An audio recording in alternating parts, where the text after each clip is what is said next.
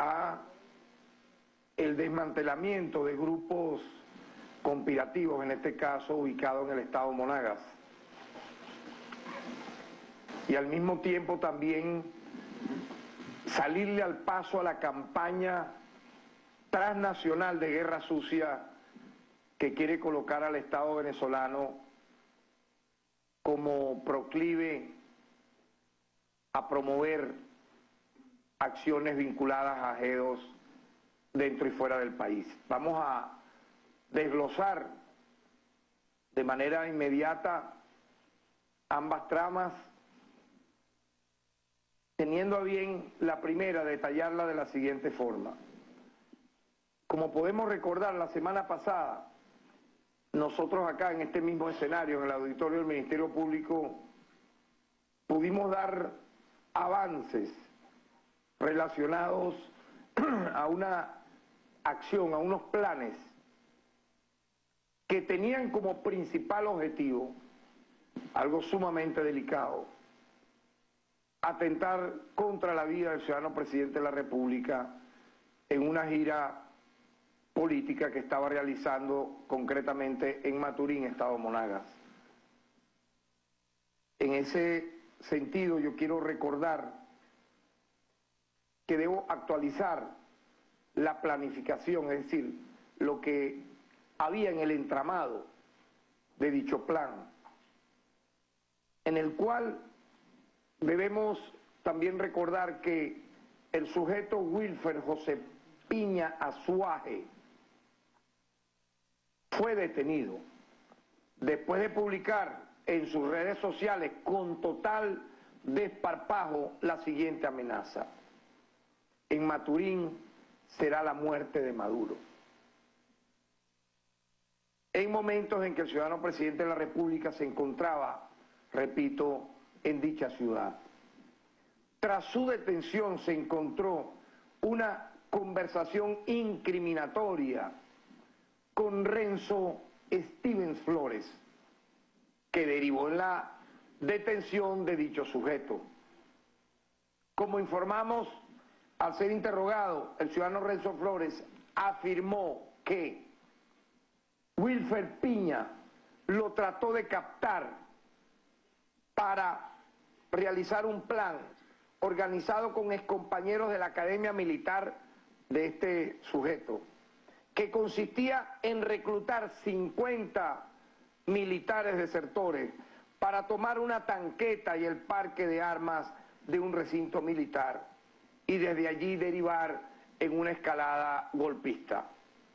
Las investigaciones han determinado que el recinto militar que pretendía tomarse en ese momento es el fuerte Paramaconi.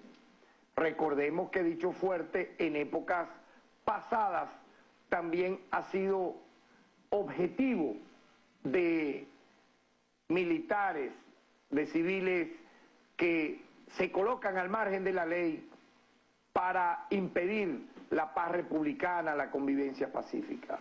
En el teléfono de Wilfer Peña se consiguió una conversación en la cual éste afirma, podemos verlo en pantalla, si me permiten, eh, voy yo también a leerlo, pero podemos verlo en pantalla. Este sujeto decía, que no les importe perder la vida y salgamos de esto a plomo limpio. El chavismo son puros perros que ladran. Se los demostré a todos ustedes cuando solo con tres chamos más, mi persona, paramos a más de 200 chavistas motorizados armados y dispuestos a quemar el comando tuyo del polideportivo. Con las bien puestas, dice él es que se confronta al chavismo. Esos son puros puro perros sin dientes, que cuando se les confronta de tú a tú no se aguantan. Luego continúa, podemos ver un segundo chat y vean aquí el objetivo militar siempre como una obsesión. Él dice, el fuerte para Maconi es la vaina más papaya, según él que llevo dos años viendo cómo se toma fácilmente y desde allí armar la caída. Ustedes me dirán, queridos compatriotas, y acá podemos también eh, mostrarlo, ¿verdad? Aquí está el teléfono de este sujeto, vean acá. Wilmer Jiménez. Dicho sujeto, vean esto. Un demócrata, una persona que quiere lograr un cambio, según ellos, de régimen, ¿qué es lo primero que debiera hacer? Presentar un proyecto político, presentar un programa de gobierno, presentar una propuesta de alcance constitucional, presentar, yo diría, acciones de reformas, de transformaciones políticas, económicas, sociales. Es lo mínimo, incluso, es una obligación que se le solicita a quienes buscan optar por un cargo de elección popular, previo inclusive y durante su inscripción y su campaña. Estamos aquí totalmente ajenos a una realidad como esa. Aquí nadie puede decir que se está persiguiendo, acosando algún factor por ser disidente a la democracia, sino todo lo contrario. No son factores disidentes, son sectores abiertamente golpistas que lo que hablan es de matar, lo que hablan es de tomar un cuartel militar, lo que hablan es de captar personas armadas para delinquir. Y aquí no podemos nosotros expresar que dichas, dichos ciudadanos, al margen de la ley, son presos políticos o son perseguidos políticos. Son lamentablemente personas que están obsesionadas. Es, impresionante ver el odio, la forma como se manejan, el rencor, pero al mismo tiempo la cobardía, porque yo lo he dicho varias veces. Estos que aparentan ser, la gran mayoría de ellos, ustedes los ven hablando cómodamente desde afuera, parecen, bueno, unos guerreros, pero ¿de qué? Del aguaje. Es lo que son, porque los hemos visto incluso cuando algunos de ellos han estado acá, cómo lloraban, cómo eh, pedían, clamaban una medida humanitaria, luego de haber intentado bañar de sangre al país. Escapan del país, huyen y entonces allí sí se la tiran de grandes héroes, de guerreros de la nada, y captan a personas como estas, totalmente sociópatas, que no les importa inmolarse, que no les importa matar, que no les importa volar la fachada de un cuartel, matar a un soldado, ¿para qué? Vamos a reflexionar sobre esto. El objetivo es, simple y llanamente,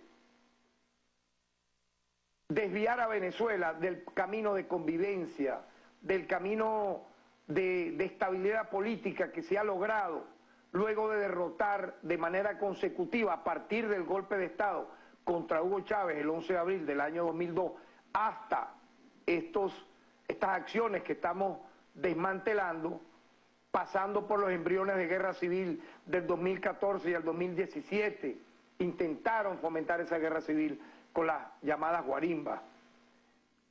El intento de atentado magnicida con drones en abril, en agosto del año 2018, el intento de golpe de Estado en abril del 2019, el intento de incursión mercenaria marítima en mayo, en plena pandemia del 2020, es que no han cesado.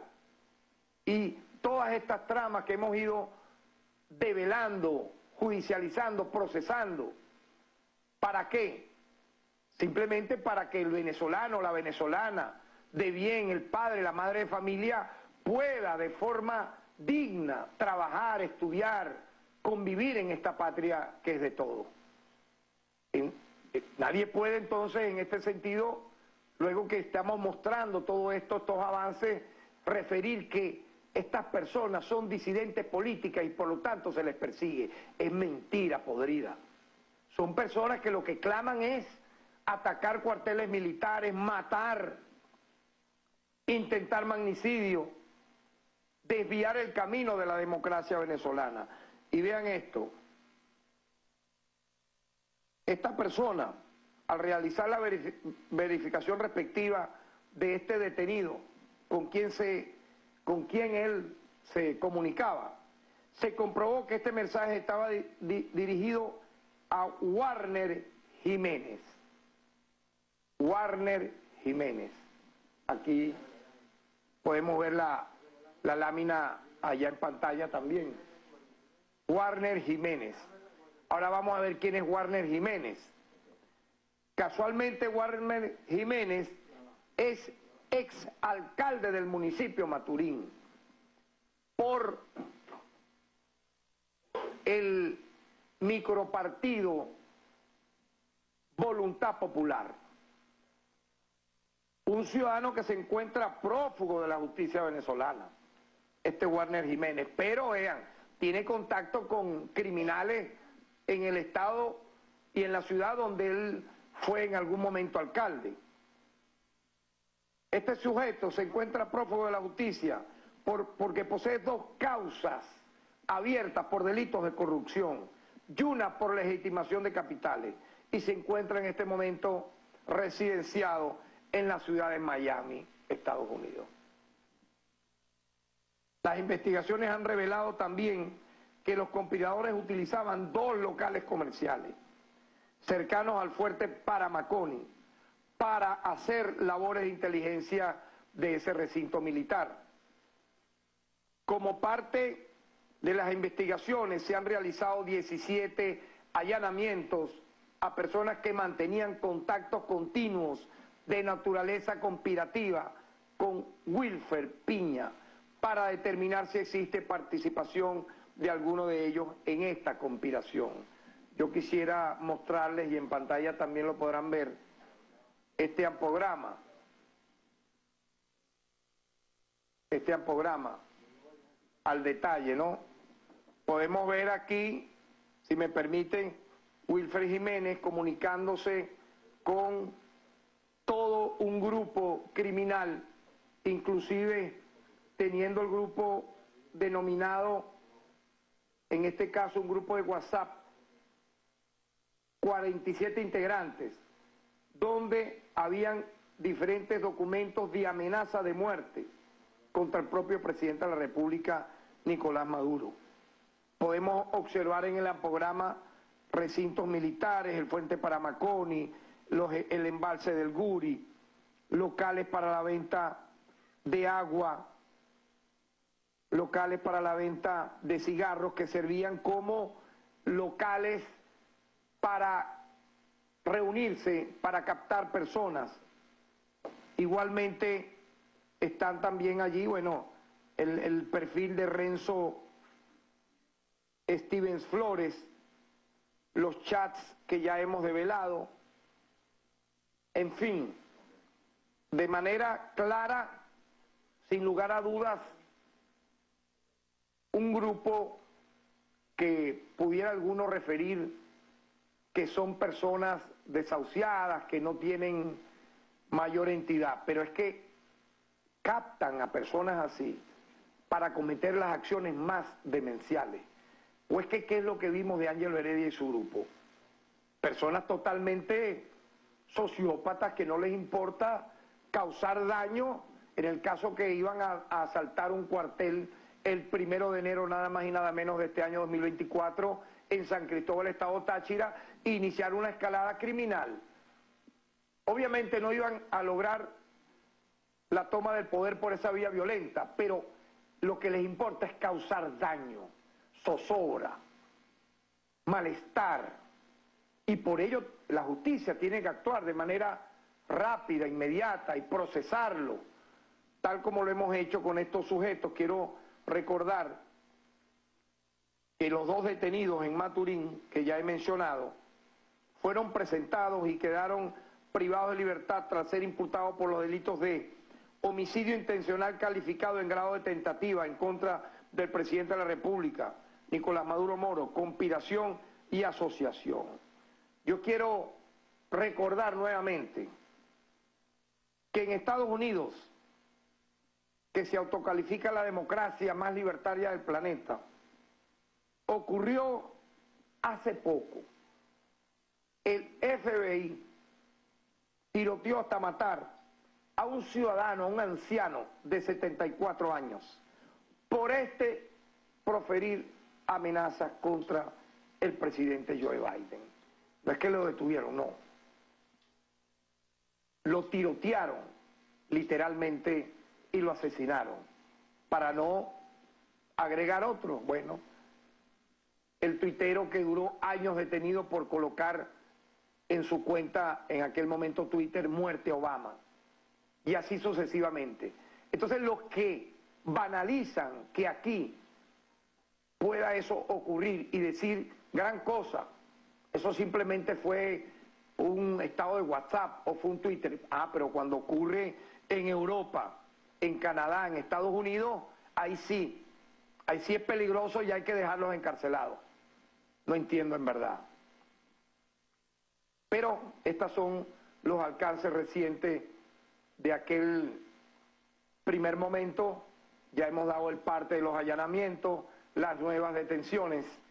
Y al mismo tiempo quiero también salirle al paso a algo que hemos, hemos ido observando como una campaña abiertamente teledirigida. Una campaña absolutamente, para mí, escalofriante en su dimensión de querer darle, en este caso concreto, al GEDO desmantelado en Venezuela, el tren de Aragua, una, un aspecto tenebroso a escala global.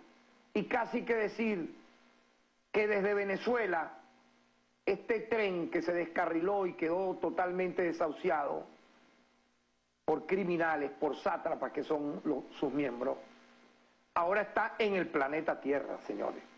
Es decir, si lamentablemente un venezolano le da un cocotazo, le da un mandarriazo o lo que fuese a cualquier sujeto en el mundo, inmediatamente las agencias de noticias dicen, miembro del tren de Aragua le cayó a palos a un tipo miembro del tren de Aragua cometió femicidio contra tal persona y así sucesivamente. Póngale oído a eso porque no es casual. Y por ello quiero no solo salir del paso, sino demostrar que la campaña está totalmente orquestada de forma infame y nosotros como Ministerio Público, en este caso nosotros como Fiscal General de la República, en nombre del sistema de justicia venezolano, tenemos que dar la cara enfrentando esa campaña de la siguiente manera. Hemos conocido recientemente, me llamó mucho la atención, una iniciativa de dos recurrentes enemigos a muerte de Venezuela, que le exigen al presidente Joe Biden declarar al Tren de Aragua como organización criminal transnacional. Es decir, la mafia siciliana se quedó pendeja al lado de, lo que estos dos eh, congresistas quieren hacer, ¿no? Esta iniciativa es adelantada por los parlamentarios republicanos, odiadores del pueblo de venezolano a muerte, Marcos Rubio y María Elvira Salazar. Antes tenía dicha dama una fachada de periodista, pero ahora es enemiga literalmente de las más extremistas de Venezuela. Queremos dejar claro que Estados Unidos como Venezuela tienen el absoluto derecho de tomar las medidas que consideren necesarias, está bien, para combatir el crimen, pero con Estados Unidos todos sabemos que muchas veces las acciones, en este caso como esta que se quiere pretender hacer, tienen doble o triple intención.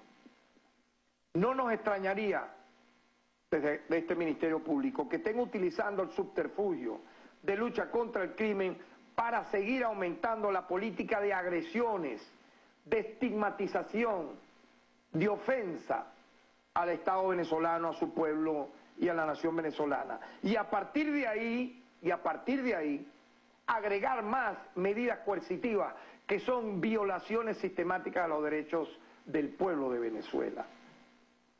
En este caso es recurrente la obsesión de este senador de apellido Rubio, quien no pierde la oportunidad de, por cualquier excusa, atacar a nuestro país.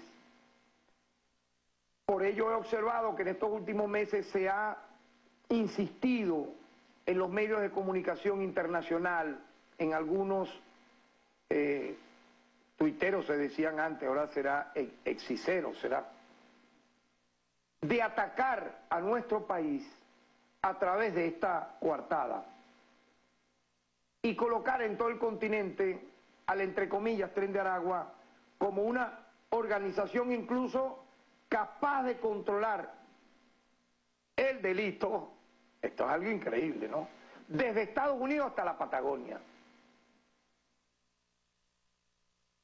Estoy totalmente claro que pudiera existir de forma aislada, aislada, que algún miembro, que algún eh, lamentable sujeto al margen de la ley, que pudiera tener la nacionalidad venezolana, haga actos totalmente ilegales en alguna nación.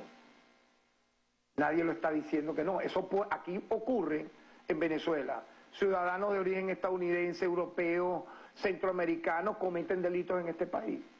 Y no por ello Venezuela agarra y dice que esas personas de dichas nacionalidades son miembros de una banda que, en este caso, conforma una fachada transnacional para delinquir. Se ha construido un mito. Así es mi primera conclusión. Se ha construido un mito para qué? para partir de la construcción de ese mito atacar, perseguir, ofender de otra manera, diferente a las que ya he mencionado, a la democracia venezolana. Y este mito alrededor del tren de Aragua es por el, yo lo, lo capto por el seguimiento que hacemos de las informaciones internacionales. Se ha podido comprobar que aquellos detenidos en otros países a quienes se acusa de ser parte del tren de Aragua no figuran, señores, no figuran como parte del tren de dicha organización en el organigrama, en el ampograma de dicha organización, y algunos ni siquiera tienen antecedentes penales en Venezuela, pero ya de manera automática, ¿cómo los califican? Como miembros del tren de Aragua, sin siquiera pertenecer o estar con órdenes de captura desde Venezuela o haber tenido, cuando vivían en Venezuela, algún antecedente policial o penal. Vean el caso reciente en Estados Unidos, el, lamentable asesinato de Lyken Riley por un inmigrante venezolano. Estos dos parlamentarios han pretendido decir, no lo van a creer ustedes, que fue cometido por el tren de Aragua. Es algo que se dice y no se cree. Es decir, un sujeto comete un lamentable asesinato y ya de inmediatamente, ya estos senadores dicen que la persona pertenecía al tren de Aragua. Cuando el detenido por, el, por dicho asesinato no pertenece ni perteneció a esta organización. En este caso, como otros que se han replicado supongamos Ecuador, Colombia, Perú, refieren lo mismo. Debo recordar que las organizaciones criminales más importantes del continente, estas sí, ¿cuáles son? No las mencionan estos senadores. Yo no oigo a ningún reportero corresponsal en países vecinos decir lo mismo, por ejemplo, de el cartel de Sinaloa el cartel de Jalisco Nueva Generación, ambos de México. Se estima que el cartel de Sinaloa tiene presencia, esto está comprobado científicamente, en más de 100 países. Ese sí, el cartel de Sinaloa. Pero de esto no hablan los senadores Rubio y la ex periodista. La Mara Salvatrucha, que nació En los años 80, ¿dónde? En Los Ángeles, Estados Unidos, en California. Y hoy se expande por toda Latinoamérica y el oeste de Europa. ¿Por qué no hablan de la Mara Salvatrucha? Los choneros y los lobos, las organizaciones criminales más grandes de Ecuador. Los choneros tienen alianza con el cartel de Sinaloa, mientras que los lobos la tienen con el cartel Jalisco Nueva Generación. ¿Ustedes escuchan hablar de estas organizaciones transnacionales? Jamás. ¿Ustedes escuchan hablar de ellas en los noticieros cuando ocurre algún delito cometido por un ciudadano de origen mexicano o de origen eh, californiano de Los Ángeles o del Salvador o de México para que digan que son de estas organizaciones. No. Pero eso sí lo hacen con algún venezolano que lamentablemente cometa un delito para rápidamente decir que es del tren de Aragua. Y finalmente, ¿qué? ¿Cuál es la excusa? ¿Cuál es la coartada? ¿Cuál es el disfraz que están realizando? Referir que eso se está propulsando desde Venezuela. En este grupo de mega organizaciones criminales se ha pretendido entonces incluir al tren de Aragua. La existencia de bandas que, en las que participan venezolanos en otros países no implica que éstas formen parte del tren de Aragua. Se ha sobredimensionado y se ha asignado un poder a dicha organización que en realidad nunca ha tenido. Y lo peor, se está construyendo una matriz que prendente vincular a factores del Estado venezolano con estos desahuciados, con estos sinvergüenzas que son todos ellos miembros de estos grupos estructurados de delincuencia organizada. Ahora, yo quiero dar algunas cifras de lo que sí ha hecho el Estado venezolano contra esta delictiva organización. Las investigaciones contra el tren de Aragua se iniciaron en el año 2019. Esta organización criminal en un principio tenía su zona de acción en el estado de Aragua. Con el paso del tiempo se pudo verificar su crecimiento hacia otras zonas del país. El ataque contra esta banda fue realizado en dos etapas. La primera consistió en la ubicación de sus líderes y la desarticulación de la organización criminal. En la primera etapa el Ministerio Público solicitó 67 órdenes de aprehensión y fueron aprendidos 28 integrantes. Hay 21 solicitados con notificación roja por Interpol. ¿Por qué no nos lo entrega Interpol? ¿Qué los van a declarar? Presos políticos, perseguidos políticos, presos de conciencia. Si tienen solicitud de Interpol y son delincuentes, ¿por qué los países donde están estos sujetos no los detienen y los extraditan a Venezuela? Destaca entre ellos el líder negativo, Héctor Rustenford Guerrero Flores, alias el niño guerrero, tiene alerta roja de Interpol.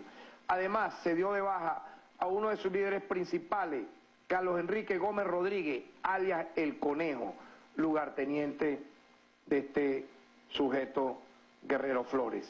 La segunda etapa se inicia con la toma del penal de Tocorón, realizado el 20 de septiembre de 2023, y consistió en la desarticulación del músculo financiero de la banda. Con el dinero obtenido de dichas actividades ilícitas, esta banda compraba bienes muebles e inmuebles para legitimar capitales obtenidos por el delito. Por tal razón se ha procedido a determinar los distintos cooperadores y financistas que de manera directa e indirecta contribuyeron al crecimiento económico de dicha banda criminal. En esta etapa se han realizado 26 allanamientos, en esta segunda etapa se han decomisado 43 vehículos y 12 inmuebles, se han aprendido 16 sujetos. ¿Qué van a decir ahora? ¿Ah? Es decir, es una lucha sin cuartel contra esta banda criminal, de los cuales 14 están en etapa de juicio, otros 4 han sido imputados en sede fiscal y hay 56 ciudadanos con orden de aprehensión por ejecutar y 48 tienen alerta roja de Interpol.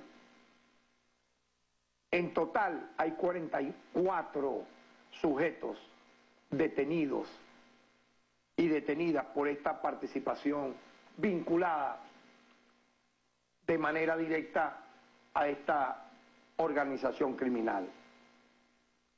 y 102 tienen orden de aprehensión. Debo destacar que en días recientes fue detenido en España por una alerta roja que solicitó quién? El Ministerio Público. Por dicha alerta roja fue detenido el hermano de Niño Guerrero, Gerson Isaac Guerrero Flores, y hemos iniciado el proceso de extradición. Yo quiero destacar que no es solamente la lucha contra esta megabanda la que ha iniciado el Estado venezolano. Yo quiero recordar, por ejemplo, que siendo, siendo mi persona gobernador del Estado de Anzuategui, en ya que lejano, año 2010, pero eh, esto fue un embrión de lo que luego ocurrió, ¿no? Se desmanteló una banda terrible de sicariato, de extorsión conocida como el Javielito, la banda del Javielito, año 2010. Tal vez fue una de las primeras megabandas o grupos estructurados de delincuencia organizada de la última década. Desde el año 2019, además del tren de Aragua, han sido desmanteladas o severamente golpeadas al menos otras 10 bandas, entre las cuales se encuentran las del Coqui, de Wilmer Bachiller, del CONAS, de Carlos Capas, de Eduardo Delicias y del Gigi Boscán. Entre estas bandas hay 166 detenidos, 144 órdenes de aprehensión y 32 condenados que se suman a los del tren de Aragua. Esto ha tenido una repercusión positiva y así voy dando final a, esta rueda de prensa. Vean esto que es bien importante. En consecuencia de esta lucha del Estado venezolano, liderada en este caso por el Ministerio Público como titular de la acción penal, los cuerpos de seguridad como órganos auxiliares y los órganos de justicia hemos logrado la disminución significativa de los delitos en el país. Eso les duele muchísimo a muchos. Más bien deberían estar felices y contentos. Pero los que no viven en Venezuela y desatan esta guerra sucia contra el país, ellos desearían que hubieran 40.000 bandas, que, que como ocurría en los años 70, 80 y 90, o es que se olvidó ya eso, por tener un zapato de una marca deportiva X, no lo voy a mencionar. No era noticia cada rato en las páginas de suceso, tiroteado joven por quitarle un zapato deportivo y lo mataban. O por unos lentes, la marca de unos lentes. Le metían dos tiros y le quitaban el lente, ni siquiera le decían, alto, deme su lente. No, lo mataban y le quitaban luego el zapato. Lo mataban y luego le quitaban los lentes. No, pero aquí dicen que en esa época era, bueno, todo el mundo estaba aquí tranquilito en su casa, yo te aviso. Imposible, porque lo que había era un terrorismo de Estado en los años 60, 70, 80 y 90. Pero vean esto que es interesante. Entre el año 2017 al 2023, los casos de robo de, vehículos ha disminuido en un 93%. Lo de hurto de vehículos en un 84%. Los homicidios calificados han disminuido en un 87%. Los hurtos calificados han disminuido en un 80%. Los robos agravados han disminuido, un 77%. El porte ilícito de armas de fuego ha disminuido un 74%. Todos debiéramos estar de manera unánime contentos con estos resultados. ¿Quién va a estar molesto? A ver, solamente una apátrida, un enfermo mental que no tiene familia en este país y no les importa absolutamente nada. Entonces, cada uno, cuando usted vea a cada uno de algún vocero hablando negativamente de Venezuela, yo le recuerdo esta cifra, yo le recuerdo esta realidad científicamente comprobada. Quien quiera verlo, aquí están nuestros archivos. Yo más bien pudiera darle alguna, alguna idea a gobiernos como el de Biden. La primera, que no se deje utilizar por los enemigos de Venezuela. Estados Unidos es por lejos, lamentablemente, el líder mundial en muertes por sobredosis de droga. Qué terrible. La han legalizado y hay ciudades zombies ya. Muchas se están replicando. Y ya el fentanilo lo consumen como si fuera un, potecito de agua. Ya no es ni el crack, ni, ni los huelepega, ni el tutsi, ni la coca, es el fentanilo, que produce una muerte casi que automática. Yo diría que la tasa de muertes por consumo de drogas en Estados Unidos era en 2020 de 21,28 muertes por cada 100.000 habitantes. Para que tengan una idea, el segundo lugar lo ocupa Canadá. Canadá, enemigo ahora a muerte del Estado venezolano, con 8.7 muertes por 100.000 habitantes. Esto fue en 2020. Las cifras de entonces han ido en aumento. En 2022 ocurrieron cerca de 110.000 muertes por sobredosis en Estados Unidos. Qué increíble, ¿no? ¿Y eso por qué es? ¿Por qué es? ¿Es culpa del tren de Aragua?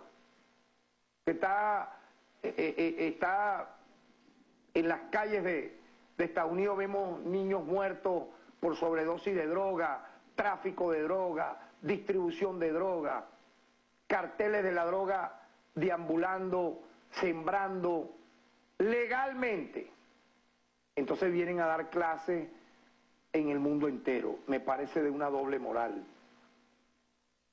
Y allí no pueden decir que es una organización transnacional venezolana, sino es la epidemia de drogadicción que está matando a los estadounidenses porque legalizaron el negocio, porque les da mucho billete. Lo legalizaron. Se quedaron pendejos aquella, aquellos que querían meter finalmente tantos delitos que lo metió al Capone ¿Se recuerdan? El, siglo pasado. Asesinatos seriales, etcétera. No, lo metieron preso porque evadió un impuesto o porque estaba vendiendo una botellita de ron. Vean, ahora esta realidad, señores. En Venezuela eso no lo vamos a permitir. Y estamos luchando en contra de todo este tipo de desviaciones legales. Pienso que el alto consumo de estupefacientes en Estados Unidos y otros países del norte alimenta con dinero a los grupos de delincuencia organizada transnacional en todo el mundo, se ve clarito. Otra recomendación es de sentido común. La lucha contra el crimen transnacional es una lucha a la vez transnacional. Es decir, la clave contra las organizaciones transnacionales del delito es la cooperación penal y policial, la cooperación penal y policial, no la persecución contra los estados, señores. Yo recuerdo siendo defensor del pueblo, nos reunimos en Colombia y firmamos acuerdos con toda la Defensoría del Pueblo de la región para el combate a delitos transnacionales. En reuniones que hacemos de la Federación Iberoamericana de Fiscales Generales también. Ese es el camino no este que están ahora inventando para dañar la democracia venezolana y sacar partido o ventaja política. Pero hay un detalle lamentable. Estados Unidos se niega a cooperar con Venezuela en estas dos áreas trascendentales para la lucha contra el delito. ¿Por qué? Si eso tiene que ser una obligación, la cooperación, tanto judicial como policial. Esto nos impide solicitar asistencia en materia penal para investigar las actividades de delincuentes venezolanos en Estados Unidos. Nos lo impide, señores. Y a la vez nos impide extraditar delincuentes desde Estados Unidos, lo que ofrece un incentivo para que los delincuentes se refugien en ese país. ¿Se dan cuenta? Los delincuentes saben que no hay cooperación y se van muchas veces de Venezuela allá a delinquir porque saben que van a tener impunidad, es la realidad. Saben que no van a ser extraditados a Venezuela. Muy lamentable. A la vez Estados Unidos se niega a sí mismo a pedir información sobre delincuentes a Venezuela. Por el contrario, nuestra cooperación penal con la mayoría de los países del continente y de Europa es fluida y altamente fructífera. Así ocurre, voy a mencionar algunos países importantes de Europa, con Francia, con España, con Países Bajos, excelente relación fluida. Países vecinos, con Colombia ahora, con Petro, con Duque y Uribe, infame era la relación. Con Perú, con Chile, con Brasil, con Argentina. Venezuela es parte de la Convención de Palermo contra la delincuencia organizada transnacional y de sus tres protocolos. Ejecuta una lucha con estándares internacionales contra la delincuencia organizada ya adecuado su legislación para hacerlo. El llamado a Estados Unidos es entonces retomar las relaciones bilaterales, sin complejos, sin prejuicios, de manera fluida, de manera directa. Sería interesante algún día que esto pase, que el Estado venezolano y los Estados Unidos de América puedan tener no solo embajadas abiertas, consulados, sino que haya convenios de cooperación entre la Fiscalía venezolana y la de Estados Unidos, entre el sistema de justicia venezolano y el de Estados Unidos para el combate transnacional al delito.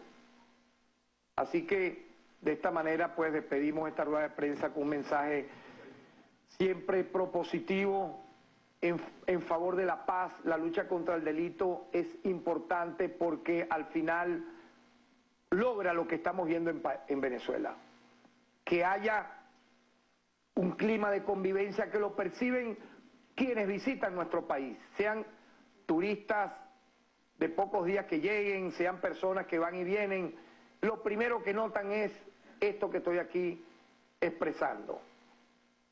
Un clima de paz, de convivencia que va a continuar y no vamos a permitir, repito, que sujetos como los que acabo de mencionar acá en la cartelera o que delincuentes organizados en grupos de delincuencia nacional o transnacional mancillen la paz del venezolano y la venezolana. Muchas gracias.